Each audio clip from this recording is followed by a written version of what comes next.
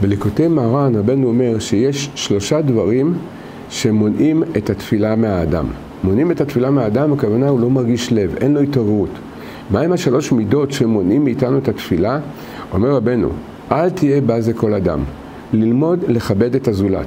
אפילו שאנחנו רואים הרבה פעמים שיש בני אדם שלפי דעתנו והבנתנו לא מתנהגים בסדר, אפילו אולי בצורה מבוזה ולא ראויה, עם כל זה העין טובה ולא לבוא זה להבין שאני לא מבין את המצב שלו, אני לא יודע מה הניסיונות שלו. אולי אם הקדוש ברוך הוא נותן לי את הניסיון שלו, הייתי מתנהג הרבה יותר גרוע ממנו. לכן, העניין של לכבד את הזולת, לכבד את, ולאהוב ולאמץ זכות ולראות בעין טובה כל יהודי, זה היסוד הראשון של תיקון התפילה. כדי לקבל לב בתפילה, זה לקיים אל תהי בעז לכל אדם.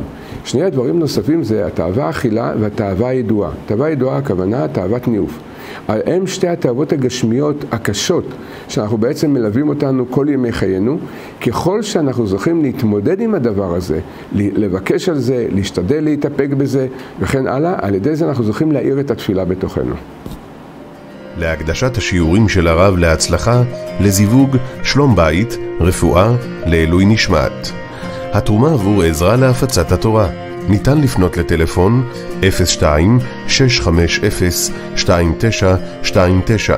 תודה רבה ותזכו למצוות.